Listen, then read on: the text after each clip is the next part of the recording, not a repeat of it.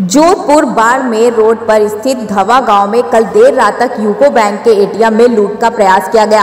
आपको बता दें कि लुटेरा इस एटीएम में रखे लाखों रुपए तक नहीं पहुँच पाया, लेकिन उसने रुपए बाहर निकालने के लिए एटीएम मशीन को पूरी तरीके से क्षतिग्रस्त कर दिया। आपको बता दें कि एटीएम लूट का प्रयास का पूरा घटनाक्रम वहाँ लगे कैमरे में कैद हो गया।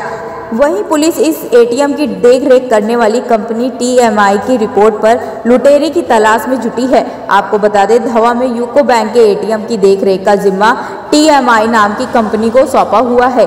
वहीं इस एटीएम में कल रात करीब डेढ़ बजे एक लुटेरा घुस आया। उसने एटीएम के बाहर लगे शटर को नीचे से बीच में ऊँचा कर दिया। इसके बाद पेट के बल लेटकर वह एटीएम में घुस गया। इस दौरान ऐसा लग रहा था कि उसका कोई साथी बाहर खड़ा है।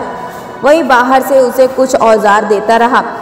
लोहे के औज़ार लेकर अंदर घुसे लुटेरे ने एटीएम को तोड़ इसमें रखे पैसे निकालने का खूब प्रयास किया।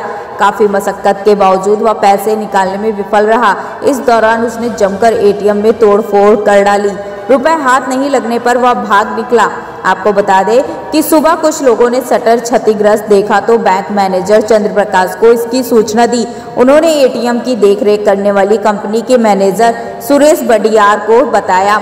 सुरेश ने बताया कि इस एटीएम में बाईस दशमलव बयालीस लाख रुपए भरे हुए थे। वहीं लुटेरों ने इसमें तोड़ फोड़ कर पैसे निकालने का भरपूर प्रयास किया, लेकिन वह विफल रहे। इससे सारे रुपए बच गए। आपको बता दें कि पुलिस सीसीटीवी फुटेज को देखकर लुटेरे की पहचान करने का प्रयास कर रही है। Bureau report, IPN.